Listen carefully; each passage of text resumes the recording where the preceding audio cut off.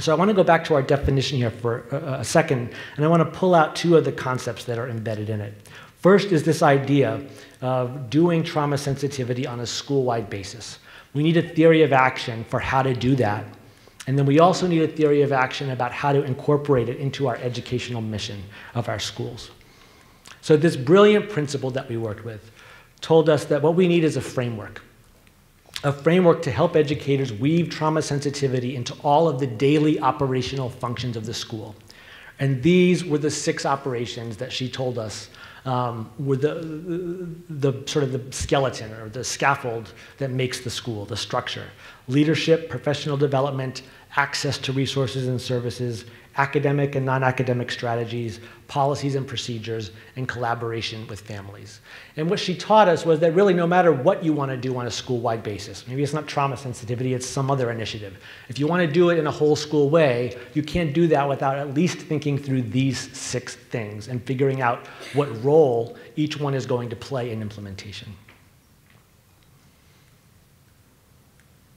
The second thing, and this gets to the mission, is we learned over time that educators need a process to help them integrate trauma sensitivity into the educational mission of their school.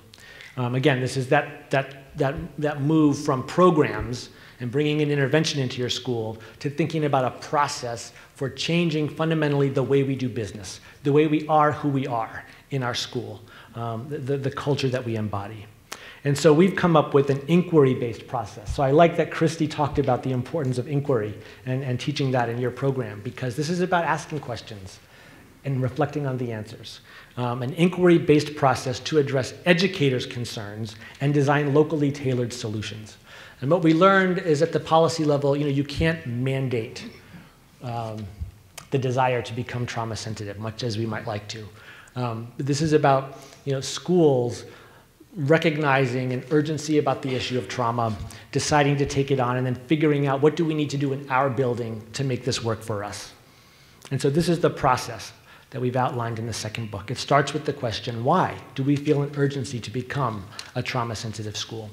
And usually this starts with a small group of educators in the building um, and what we advocate is eventually, you know, figuring out who the like-minded folks are, and hopefully, with the support of your school leader, um, starting maybe a steering committee, maybe doing some uh, PLCs, doing some, you know, text-based um, discussions um, as a as a group of faculty members, and then ultimately, in step two, building up enough of a critical mass that you can take it to the whole faculty. And then the question for the school leader really is, how do we know we are ready? To create a trauma sensitive action plan. Before we embark on this, you know, is my, is my faculty on board? And so this is where we might start with a, a whole staff professional development, a two hour training for everybody to expose them to many of the ideas that we've heard in this conference today, but then figuring out, you know, is the staff ready to take those ideas and run with it? Or is it just not something that is, is uh, going to happen? If the school is ready, then the third question is what actions will both address priorities identified by the staff. And here, you know, the priorities that a staff might start out with are reducing punitive discipline, or, um, you know, in a lot of the more affluent um, communities that we're called into, it's because there's things like a spate of suicides that have happened because kids are so stressed out. And so they'll, that, that'll be the, the sort of horse that leads them to the water of trauma sensitivity. It can be very different in different communities, but the idea is that whatever the action plan is, um, can't just address trauma in the abstract, but has to address it in a way that that school is feeling urgent about it. And then finally, and this is the reflective piece, um, how do we know we are becoming a trauma sensitive school? After we've set an action plan and we begin implementing, um, it's about instilling this spirit of inquiry um, and evaluative inquiry in, into a school um, so that we're constantly asking questions about what we can do better. Is it working? Um, and how do we know? What data are we looking at? So that's what goes on at the school level. Um, I want to, I'm almost out of time. I think I am out of time. But the fifth and final idea, which maybe I can um, talk about very quickly, is at the policy level. And here we say that helping traumatized children learn should become a major focus of education reform. And so the question that we find ourselves as lawyers asking is what role can law and policy play in setting the conditions that allow for good holistic practice? Um, if you can't just mandate this, um, and we shouldn't be mandating this. Well, what can we do? Um, does law have a role to play? And I think we answered that question, of course, by saying yes, because um, not only are there things that, that law and policy can do to help make this work more possible, but sometimes it needs to get out of the way. Um, and let educators do what you've been trained to do and that you can do very well and, um, and, and stop um, you know, hanging more albatrosses around your necks with all these various mandates. So, so law uh, certainly has an influence, and, and what are the conditions that will allow for a good holistic practice? So what I'll leave you with is just what our guiding principles have been um, as we've approached this with our state legislature. Um, the first is that school operations have to drive policy. Um, and we've heard, um, I think somebody mentioned, maybe Jonah was you, like the 51 mandates or something, or all the balls that educators have to juggle um, that the legislatures seem to be constantly throwing at you. And um, you know, most of those things, like anti-bullying laws or you know, dropout prevention laws. I mean, these are all important things. It's not that we as a society shouldn't be tackling these issues, but what we would say is, is there a way that when we um, create laws to address these problems, those laws can at least reflect that framework, that six-part framework that I shared with you about school operations so that um, you know, at, at, least schools can begin to see what are the efficiencies and the overlaps between all these mandates. You know, Bradley said, one of the things he said was that you know, um, regardless of what traumatic experiences kids have had, you know, there's a core that's the same with all of these things. And I think I would apply that same logic to the many different initiatives that we're asking schools to do, whether it's social emotional learning or, as I said, you know, bullying prevention or truancy reduction was one in our state. Um, these all come back to the idea of having a core school culture and environment where kids feel engaged, safe, supported, welcomed. And if we can focus on the similarity there and the same structure that underlies all of those things, then all of a sudden it's not 51 different things, it's just 51 different shades of the same thing. Um, and if policymakers can take that approach, I think it will be easier. Um, again, this is sort of saying the same thing, aligning these multiple mandates and initiatives. Um, locally tailored solutions. I mean, we've just seen over and over again that one size fits all approaches just ultimately don't sync with the unique and very individualized cultures that exist in each and every one of our schools. Involving all the stakeholders, um, which takes a lot of time and it's really messy and can be really hard to do, but everybody's voice is so important um, starting with the choir. So we've taken the approach in our state of starting with grant programs and letting those schools that want to be the first horse out of the gate, you know, that want to be the first ones experimenting, that have the, the energy and the urgency to do this, um, let them do it first. Support them to experiment. And then what we've seen is the way things spread across the state much more effectively than a mandate is peer-to-peer sharing. So when we would have a grant program and then have a conference, where the grantees would present to other educators. That was how we saw the, the quickest ad, uh, adoption of new practices across the state, um, not by a top-down mandate. Um, and finally, multiple remedies. There's not going to be just one law that gets passed that's going to be the panacea that makes all of this happen. You, you pick off a piece at a time. A grant program here, um, you, know, um, you know, a little bit more funding there. Um, you know, revising our, our statewide school discipline law was a good opportunity to insert some of these um, principles and ideas. So as each new thing comes down the pipe, we try to insert um, a, a trauma-sensitive approach into it um, rather than thinking there's going to be one trauma sensitive schools law that just fixes everything once and for all.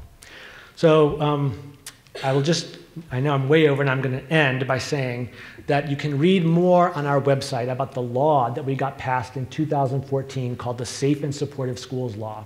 Um, and for those of you that want to know more about the specifics of that, I would be happy to, um, to tell you uh, more um, privately. Thank you.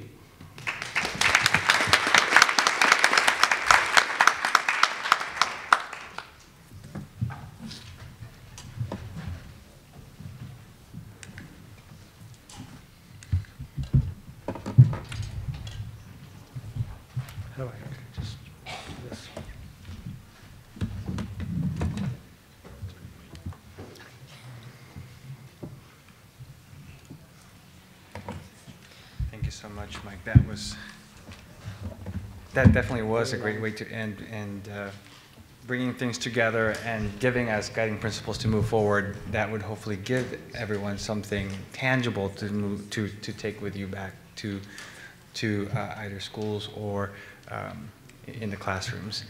Let's, um, while I'm getting things ready up here, let's take a question. Hi. Um, do you, you guys think, um, this is for anyone, that trauma sensitive schools um, can be implemented in higher education? Um, should they? Can they? How might they be different? Thank you.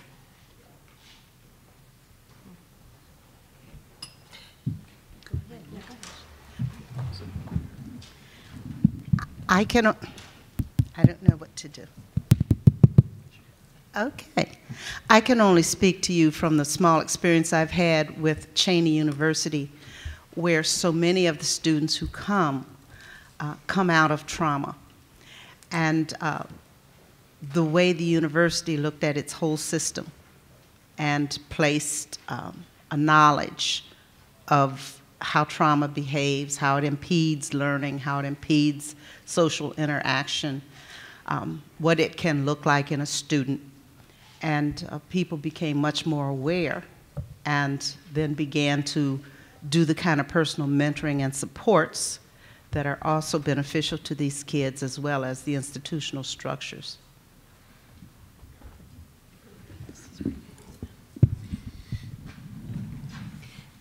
I would agree with, is this working? Can you hear me? I would agree with that.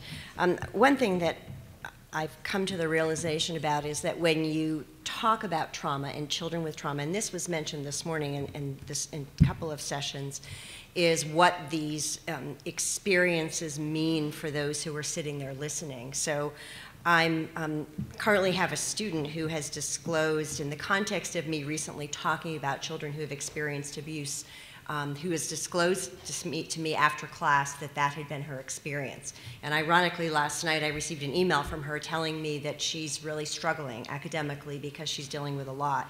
So I do think we need to be prepared um, to respond to our students in higher education when in fact something we raise, something we expose them to, something they're exposed to in the context of their higher education experiences is unearthed and they're struggling. We happen to have a really wonderful counseling program on our campus.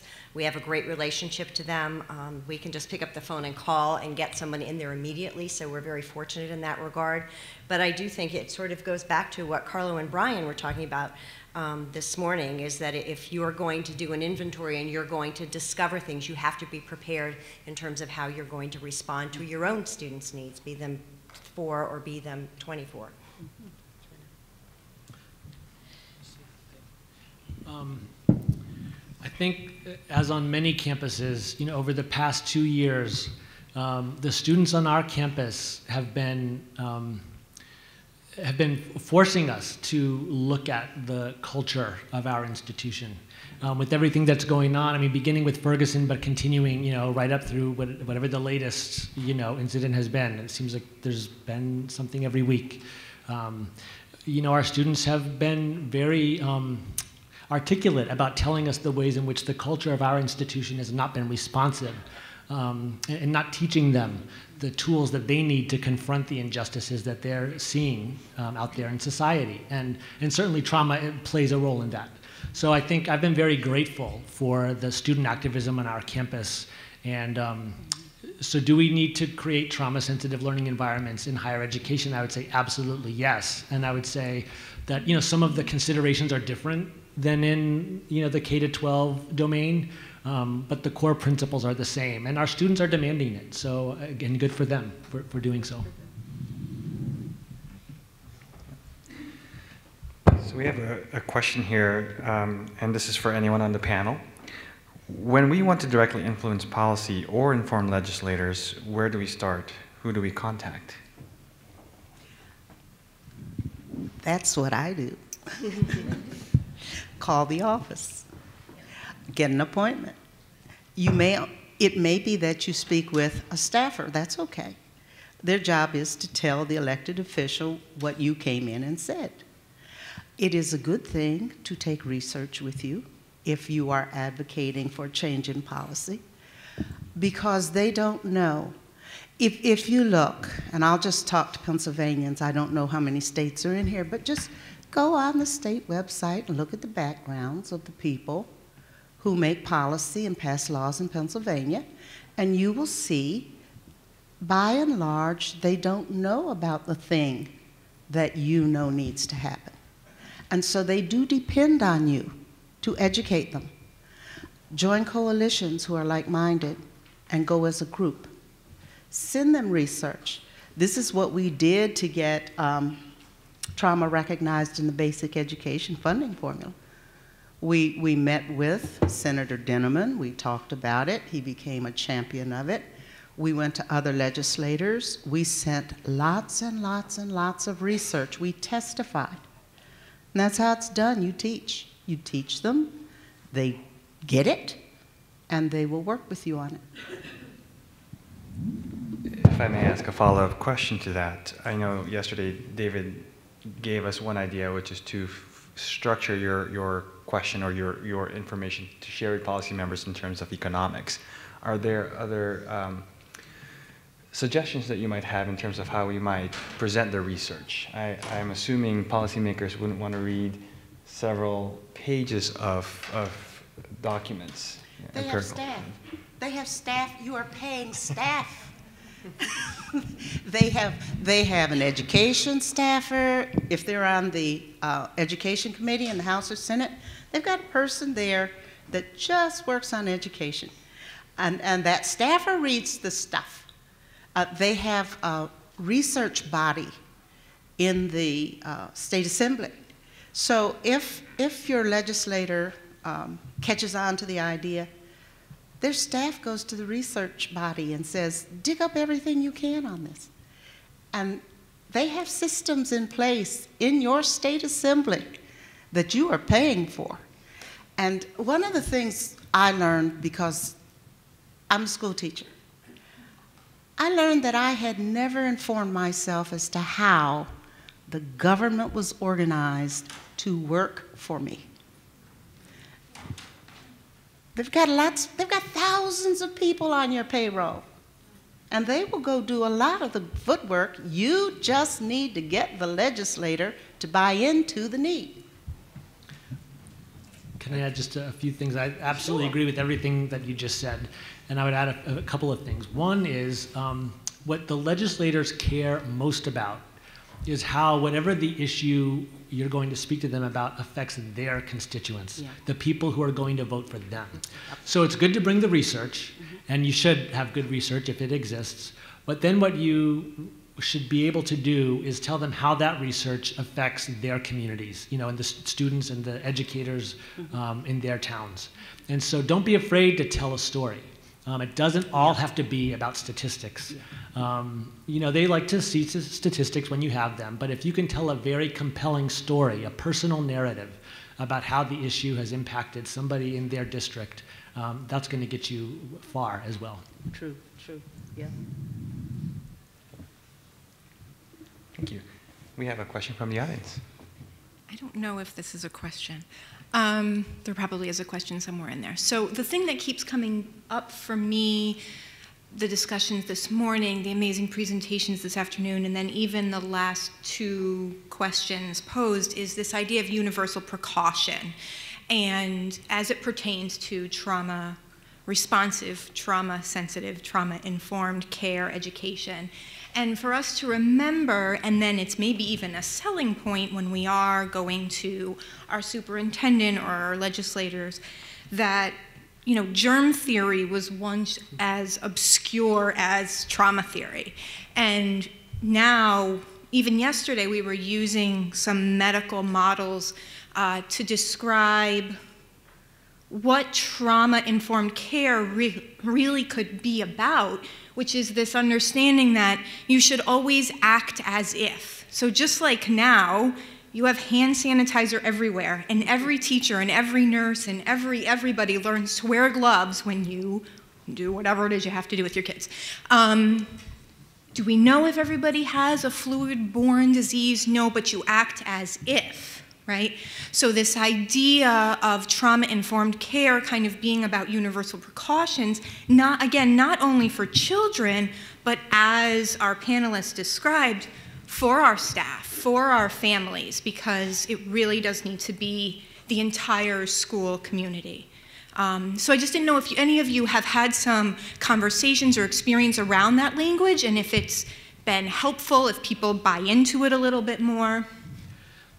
Absolutely. So if you go on our website, the traumasensitive.schools.org, um, there used to be on, on, the homepage a video that you can click on and watch. And um, it's Mary Beth Curtis, who was the former director for the Center for Special Education at Lesley University, um, which is a major teacher training institution in our community. And she uh, talks about the concept of universal design, which is very similar to universal precaution. But she gives a couple of great examples, and I have shared these examples with policymakers, and I think they're very good. Um, so see what you think. So one of them is the example of curb cuts. Um, so you know we put curb cuts in the sidewalks for folks um, in wheelchairs. But who among us has not used the curb cuts? I'm about to leave with my roller suitcase to go back to the airport, and I guarantee you I will use those curb cuts to roll my suitcase up on the sidewalk. Um, so it's a intervention that was done for a specific subpopulation, but all of us have found ways to benefit from that. And then the other example she uses is closed captioning, you know, television that was for you know folks with hearing impairments. But you know when you're in the gym on the you know stairmaster or whatever, and you know you're able to see what's on the TV because you can read the closed captioning, or in the bar or what have you. So it's something again that we all benefit from. So I think using some concrete examples like that and universal precautions would be another one. Are things that can make this concept of this is really for all kids, mm. whether or not um, any of us has traumatic experiences, we're all going to have a bad day where we're dysregulated and we need that extra TLC. And so all of us are going to, you know, learn more that day because we were in an environment that was safe and supportive. And to follow up, Mike, if you could speak towards that universal precaution in terms of what TLPI did, which is to, you know, we had this discussion about, it, at, at the end of it all, it really is how do we create safe and supportive environments for children. So we, um, maybe an, another um, way of, of, making it sound more universal is, you know, when we went to go get a law passed, we didn't, as I said, call it the trauma sensitive schools law. We, we used language that is broader, you know, safe and supportive schools. And one of the superintendents that we worked with many years ago, who was working with us to create a trauma sensitive school, and actually had the buy in of his school committee, which is what we call school boards in Massachusetts, was so proud of the work that he was doing. And somehow the local television station got wind of it, and they said, We want to come and interview you and see what you're doing in your school. And he told them all about trauma sensitive schools. Well, there was uproar from the parents who said, I don't want my kid going to a trauma school. What, you know, I don't want traumatized kids in my kid's school. Like, why, what's going on, you know, in our school? So you've got to be careful about what you call it, you know, because there's, maybe this is the packaging, I don't know, that Susan was talking about, but it's how we market things, how we communicate, you know, to the community. Um, and so safe and supportive schools is just a, a somewhat more neutral way to talk about, um, and a more universal way to talk about this work. But um, in the law that we ended up getting passed, it defines a safe and supportive school to include all of the different advocacy initiatives that have been you know, going on recently. So it includes bullying prevention, mm. social emotional learning, inclusive education for students with disabilities, foster care, homeless education, and trauma sensitivity. So it's in the law, it's on the list, but trauma sensitivity, but it's one of many things that a school might you know, focus on as the leverage point for creating this kind of school culture and environment. Thank you.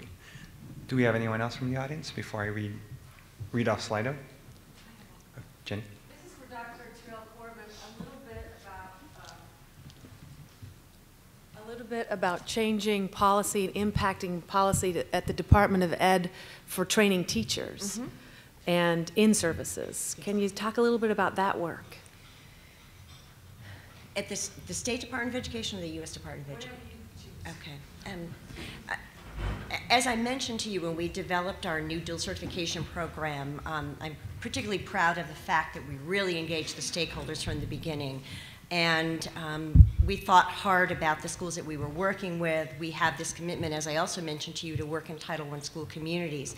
As a result of that work that we did in designing this dual certification program, Um, our program has now been developed as, I've been identified as the model program for the state of Maryland. Um, the former state superintendent of Maryland, Nancy Grasmick, who was the um, longest state superintendent um, to serve in the history of the United States of America, the first superintendent, um,